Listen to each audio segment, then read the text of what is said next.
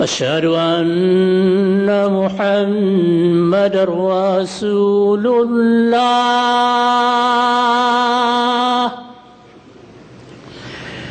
أشهد أن محمد رسول الله.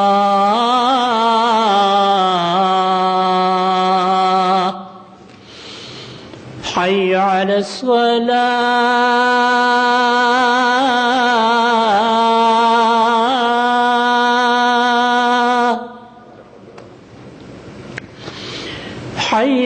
الصلاة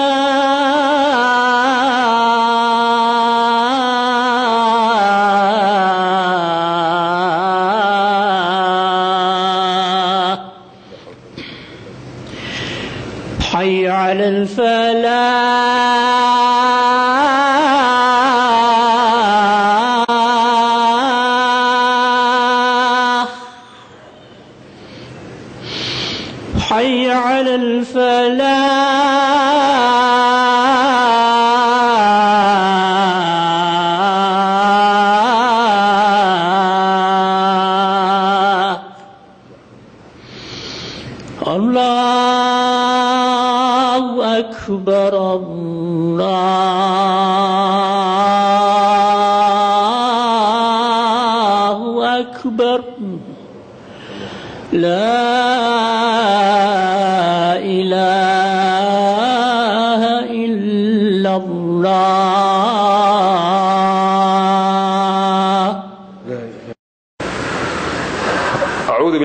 الشيطان الرجيم.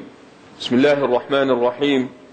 الحمد لله رب العالمين والصلاة والسلام على أشرف الأنبياء وأطهر المرسلين شفيع المذنبين وحبيب رب العالمين محمد صلوات ربي وسلامه عليه وعلى آله وصحبه الطيبين الطاهرين.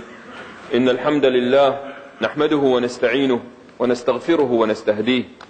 ونعوذ بالله من شرور أنفسنا وسيئات أعمالنا. من يهده الله فلا مضل له ومن يضلل فلا هادي له. وأشهد أن لا إله إلا الله وحده لا شريك له وأن محمدا صلى الله عليه وسلم عبده ورسوله. بلغ الرسالة وأدى الأمانة ونصح الأمة. وتركها على المحجة البيضاء ليلها كنهارها لا يزيغ عنها إلا هالك. أما بعد فإن أصدق الحديث كتاب الله. وخير الهدي هدي محمد صلى الله عليه وسلم In the name of Allah the compassionate, the most merciful, all praise is due to Allah. We bear witness that no one is worthy of worship but Allah, and we bear witness that Muhammad sallallahu alayhi wasallam is indeed his final messenger. The best of speech is the book of Allah, and the best of guidance is the guidance of Muhammad sallallahu alayhi wasallam. It was during time like this, in the same year, where the Prophet, peace be upon him, lost two very close family members to him.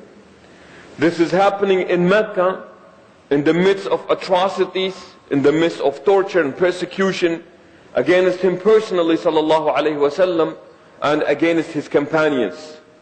However, during that time, the Prophet, peace be upon him, had two people protecting him. One was giving him protection in the outside, and one was giving him protection inside. The one giving him protection outside was his uncle, Abu Talib. Not a believer, but he loved Muhammad sallallahu alayhi wasallam. He raised him. And he made sure, yes, the people were against him sallallahu alayhi wasallam, but nothing happens to the well-being of Muhammad sallallahu alayhi wasallam. He was that protector. And all the elites of Mecca, they want to do something to him, peace be upon him, but they can't because they know that Abu Talib is there and Abu Talib is a very important figure, so he is providing this protection for him. Then he had his most beloved wife, Khadija, radiallahu anha, may Allah subhanahu wa ta'ala be pleased with her.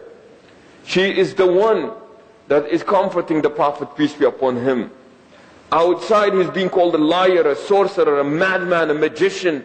And he's being belied left and right. But when he comes to Khadija, may Allah subhanahu wa ta'ala be pleased with her, she would provide him with that comfort.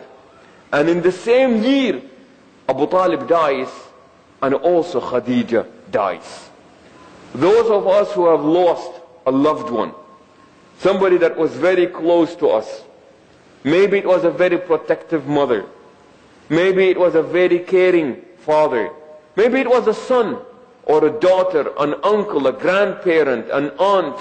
Whatever the case is, a lot of people are able to relate to this. I loved my mother so much, but she's gone now. My father, I loved him so much, I look forward to him coming home because I knew that with my father around, things were good. Or my grandfather or grandmother, whatever the case is. So people who have had, who have had that kind of a loss can relate to this.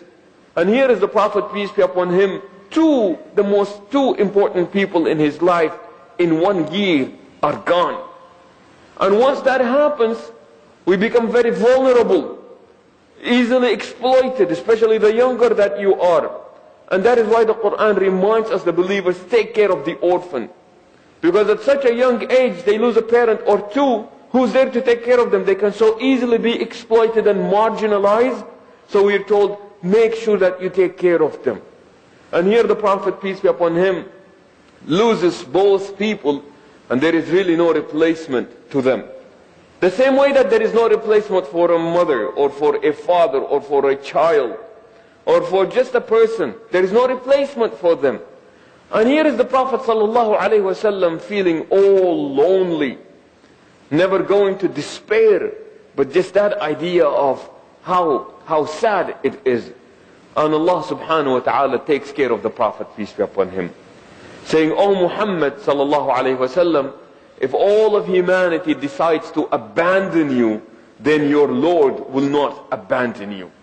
And the Prophet, peace be upon him, is taken into this journey that is referred to as Al-Isra wal-Mi'raj.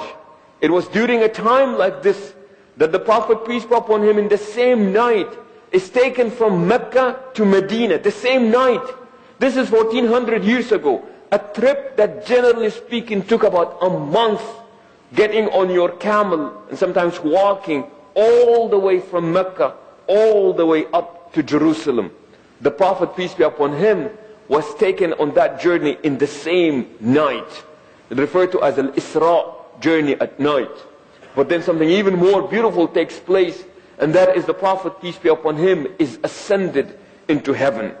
Where he went beyond, beyond no other being has been, including Jibreel alayhi salam. And there Allah subhanahu wa ta'ala and the Prophet sallallahu alayhi wa sallam, a meeting takes place. But not really to go into the details of what happened there, but the lessons that, the lessons that we learn. See, in our um, daily lives, we will have, we're social beings. We will have people that we are close to. And some people that we are close to may either depart us because of death, because they travel, because they relocate, because they change, or because we change. So they said that make sure that our utmost hope, our absolute hope is only in Allah subhanahu wa ta'ala. The more hope we put on people, the more we are prone to being disappointed.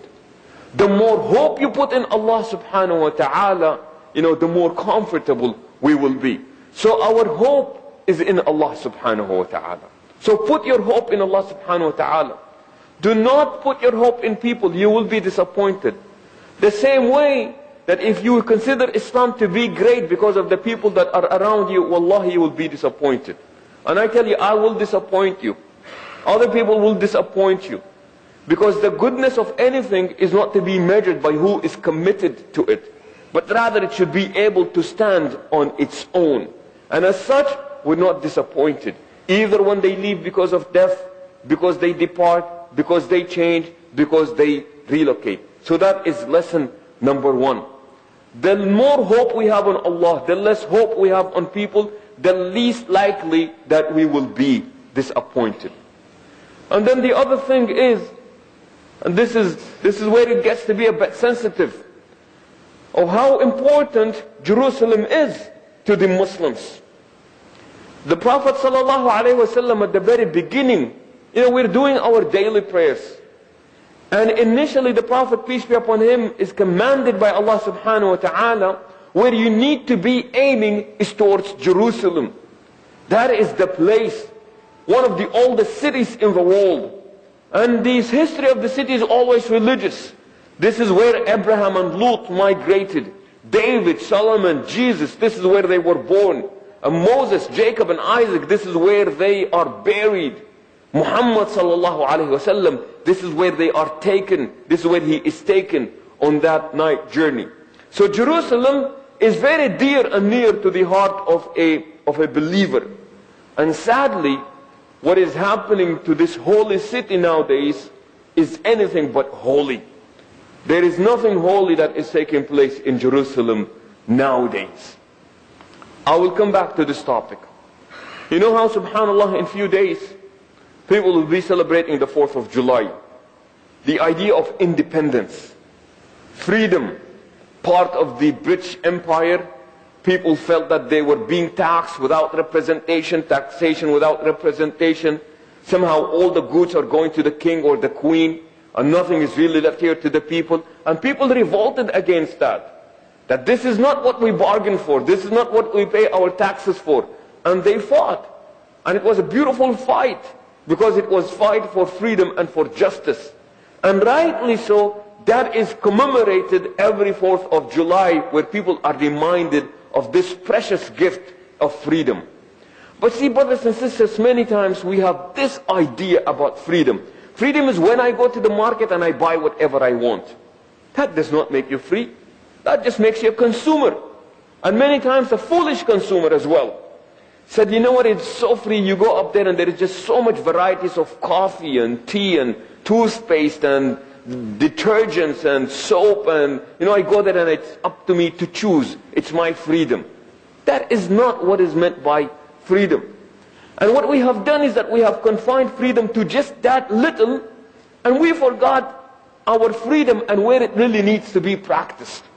Alhamdulillah, today I see a lot of young people and it's always beautiful to see young people in the masjid. Because that's really where we want our young people to be belonging, in a masjid. And as such a reminder of what freedom is all about. Freedom is truly practicing that given gift of freedom in choosing your values. See, values are things that we choose. And we make a big mistake when we let somebody else choose our values for us. So it's your freedom to choose what kind of values you want to live life by. So make sure that you choose the right values. And most important, make sure that it is you who is doing the choosing. We have the right to choose our values. That's a freedom. Practice it. We have the right to choose our friends. Who are the people that I hang around with? Part of self-respect, young people listen to this. Part of self-respect is that I choose who are going to be my companions. Who is the kind of company that I am going to keep around me. That is a freedom. But it's pointless if you don't choose it. And if you don't practice it. So that is another freedom. Make sure that you choose and make sure that you do a wise choice. We have the freedom to choose our actions. Make sure that you choose right actions. But then again, brothers and sisters, we cannot be celebrating our freedom where we are oppressing somebody else. We cannot truly be celebrating our freedom and, and feel secured in our freedom so long that we actively participate in the oppression of other people and suppressing their own given gift and right of freedom. That is the most pathetic way of trivializing and jeopardizing our own freedom. So as we want to protect our freedom, the best way to protect our freedom is to make sure that we protect the freedom of those who are around us. Let me give you an example. People know what's happening in Gaza. 1.5 million people. A blockade is being happening against them. The saddest of all, the people who are imposing the blockade, they themselves have been the victims of similar blockades only 50 years back. The Holocaust is not ancient history. Still today, we have got survivals of the Holocaust. And these people know what it meant and what it is like to go through a Holocaust. What it feels like to live in a ghetto.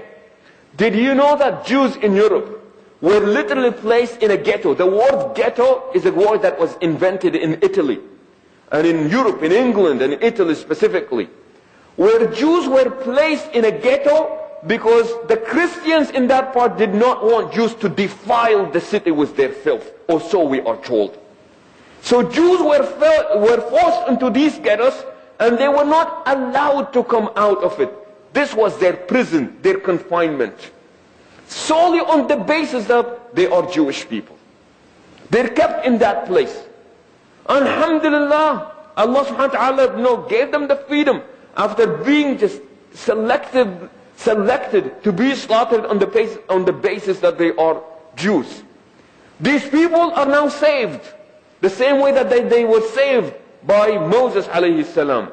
And you would think that of all people, these would be the last people to practice anything like that. Because they have been victimized by it. They would not want to be repeating history where now they are the perpetrators of that evil and of that wickedness. But subhanallah, this is precisely what we see nowadays. Those who were forced into the ghettos are now forcing Gazans into the ghettos. Those who were imprisoned are they themselves now who are imprisoning the people of Gaza. So here is what's happening. A group of people, people of conscience, they said, you know what, we don't approve of this. This is not right. What we're going to do is that we are going to defy this blockade that is taking place.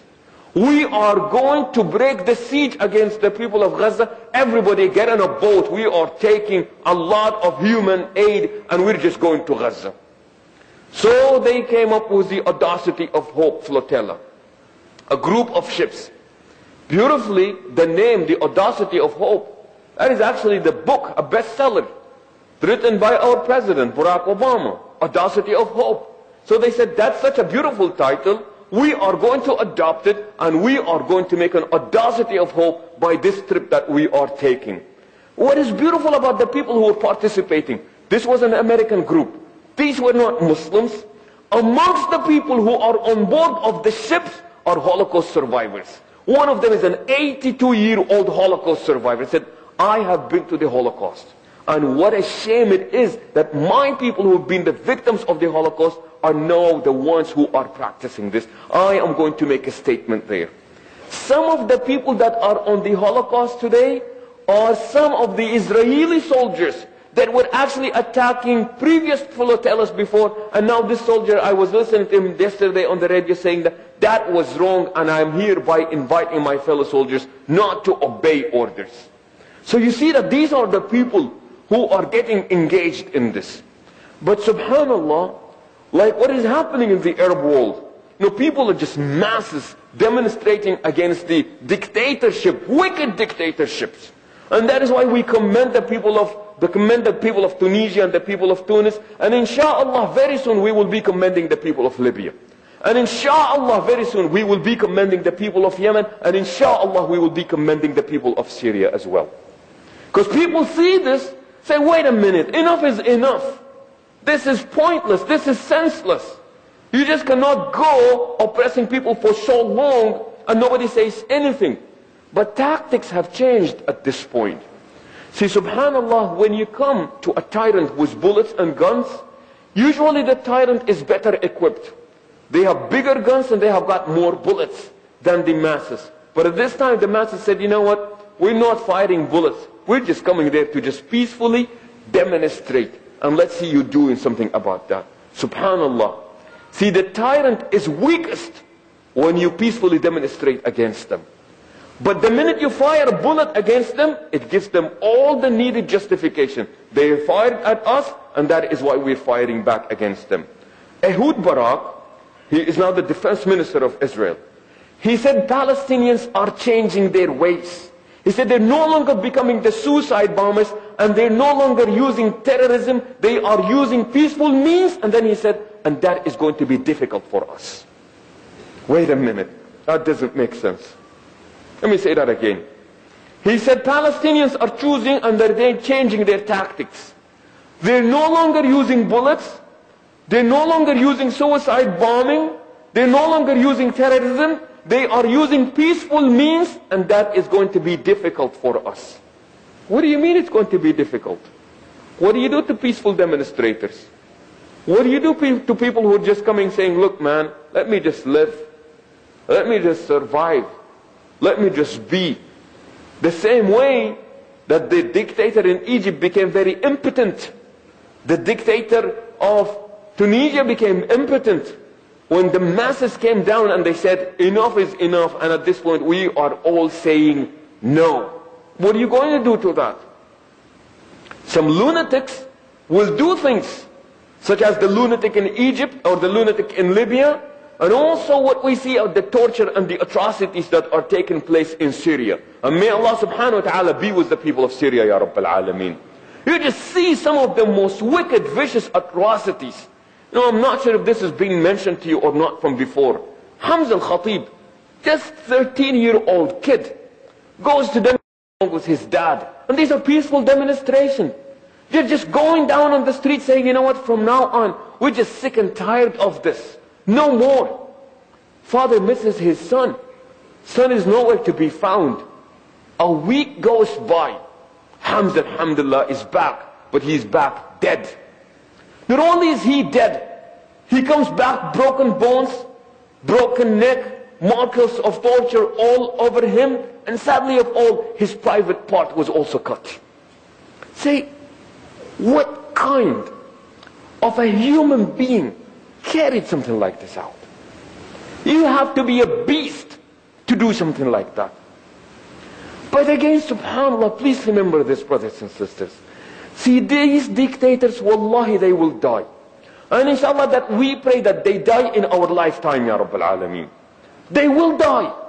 But as soon as they die, their methods, they come to an end with them. But as soon as the martyrs die, it is the rule or of the martyr that starts living at that, at that point. So we see the flotilla. People are bored on the flotilla and they're saying, look, we cannot be part of this. Our tax dollars, these are my tax dollars and your tax dollars, they are supporting the blockade that is taking place. It is weapons that are made in this country that are destroying the buildings in Gaza. And some people said, this cannot be it. Congress people have said that. Dennis Kucinich has said that. So these people demonstrated and they said, no. Well, here is the sad part. These are American citizens. And you know, America takes care of its people. If you are a US citizen, you hold that passport, America will be there for you. So these people, gentlemen and women, they make the decision that we are going to be boarding the flotilla. And Israel responds back, we will do our best not to harm you, but if we need to, we will do it. State Department comes out, and you would expect to say, look, do not jeopardize do not jeopardize the safety of American citizens. They come out and they say, whoever is going on the flotilla, they are irresponsible. You've got to be kidding me. I am going there, and I am saying, look, I'm just going to help out the people. Hand out humanitarian aid, medicine, food. And you're calling me irresponsible? What is what in the world is going on? But see, that's what the Prophet ﷺ taught us. That towards the end of time, there is a shift in what is moral and what is immoral. يأتي على الناس زمان يخون فيه الكاذب ويكذب فيه الخائن أو يخون فيه الصادق ويصدق فيه الخائن. He said that a time is going to come when honest people are going to be called liars and liars are going to be called honest. And you do not see this beautifully manifested as much as you see it in this, in this arena, in this area right here. So these people go there and they say, look, man, we're just helping people. Say, no, no, no, you're wrong. Subhanallah, the same thing happened last year. They were so careful that they did not, they took plastic knives and forks with them so that nobody can accuse them of having any weapons on board with them. Despite that, nine people were killed. May Allah subhanahu wa ta'ala accept them as martyrs, Ya Rabbil Alameen. So here we have, and the last update I read before I came here, that should keep you updated because that is so beautiful. That people are going there risking their lives knowing that nine people were killed last year. They're still doing it. That is very admirable. That is a lot of courage that is out there. So these people go out there and they say, we're going. And again, know, Greece and what is happening with their troubles, they said that the ship cannot really take over. Oh, it's not seaworthy. It is not very safe. Some people have been talking about people coming in and intentionally, intentionally ruining the ship. It took off and now it's being brought back by, you know, coast guards from the Greece government. And talk is that they have been pressured not to allow the ship to go there because it will be very embarrassing if anything happens to the people. And see, brothers and sisters, subhanAllah, change is inevitable. Change is coming. Like that story of Al-Isra al-Mi'raj, that people that you think that you lose hope, but then subhanAllah, something just inspiring comes. In the case of the Prophet sallallahu alaihi wasallam, it was Allah subhanahu wa ta'ala saying that, don't worry. If all of humanity is going to abandon you, Allah subhanahu wa ta'ala is not going to abandon you.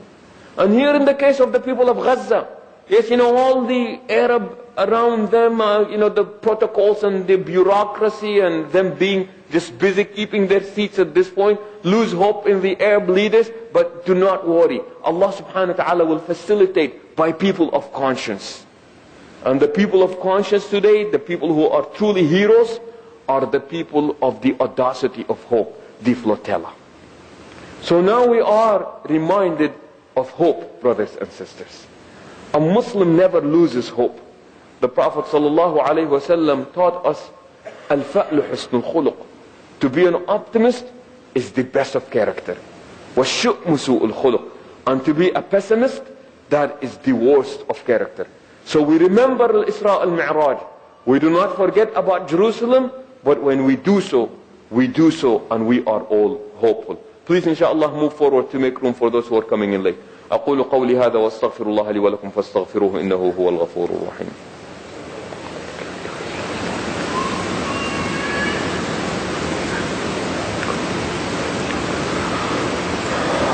الحمد لله وكفى والصلاة والسلام على رسوله المصطفى وعلى من بآثاره اقتفى See we keep talking about hope and how important it is to have hope that is part of what we call, we call put your trust in Allah subhanahu wa ta'ala. This concept of tawakkul. You know, putting your trust in Allah, putting your trust in people, unfortunately, history tells us that we disappoint one another.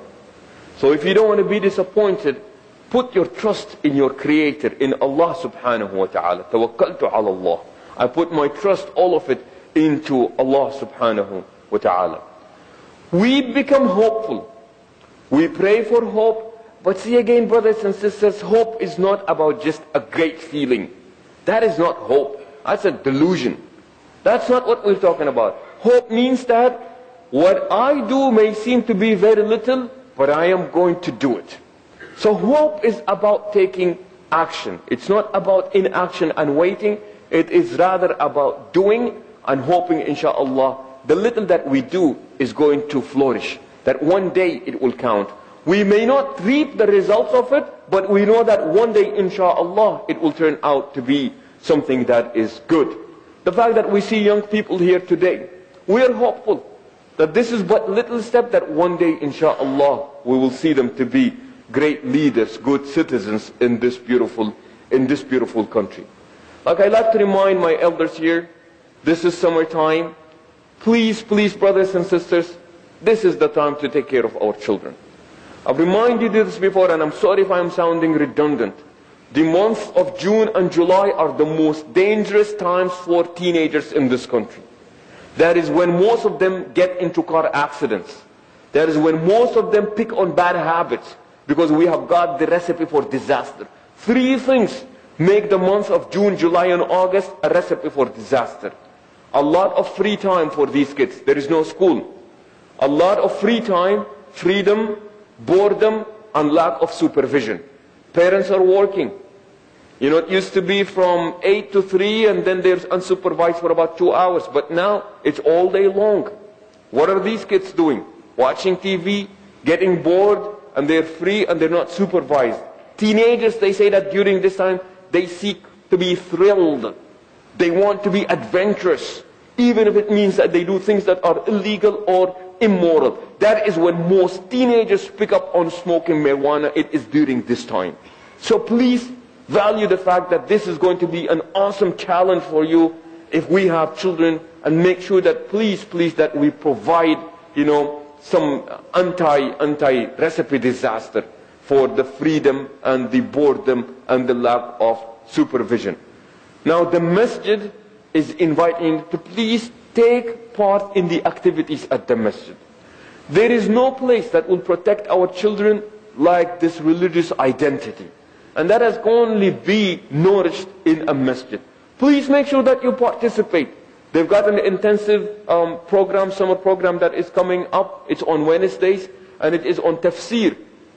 Beginning this Wednesday and going on for, for a while. So please make sure that you come yourself and make it a family, a family event. We're going to the masjid to attend the class. They have summer camps for kids. Make sure that you put your kids in these summer, in these summer camps. And yes, sometimes they may be costly. But that is the price that we have to pay if we want to make sure that our children, good values are instilled in them, there is a price to be paid, brothers and sisters. Nothing here takes place for free. You've got facilities to take care of and what have you, so please make sure that you participate in this. And also look into the different agencies in the area, you know, where they deliver different services, be it different masajid or our own agency at Access California, and I think I've told you this before, a class that is delivered every Wednesday on sex education for teenagers, people from 13 to 18. That is, the reality is, this is a very sexualized society, culture that we're living in. These kids are bombarded with sexual images from such an early age. How do you contend with that? They've been told about sex left and right. The media tells it. The music tells it. Friends tell it. Everything around them is sexualized. How do they contend with it? So what we have is a sex education class held on Wednesdays for these teenagers. So please make sure that you participate in this. And most of all, finally, please appreciate the people on the flotilla. Please appreciate them. These are people who paid their own money. These are people who are risking their own lives. These are the people who are taking the risk of going to a place where people will not think twice of killing you. So for these people, may Allah subhanahu wa ta'ala bless them, Ya Rabbil Alameen. And may Allah subhanahu wa ta'ala protect them, Ya Rabbil Alameen. And may Allah subhanahu wa ta'ala grant them success in this mission of theirs, Ya Rabbil Alameen. These are beautiful group of people and wallahi, wallahi, we pray for them. Be they Christians, Jews, Muslims, atheists, we pray for them and we pray that Allah subhanahu wa ta'ala blesses them, guides them, and we pray that Allah subhanahu wa ta'ala grants them success, Ya Rabbil Alameen. اللهم يا رب ارم الظالمين بالظالمين يا رب ارم الظالمين بالظالمين. اللهم يا رب ارم الظالمين بالظالمين. وأخرجنا من بين أيديهم سالمين. برحمتك يا أرحم الراحمين. اللهم يا رب فرج هم المهمومين. ونفس كرب المكروبين واقض الدين عن المدينين. اللهم ارحم موتانا واشف مرضانا وفك أسرانا وعاف مبتلانا.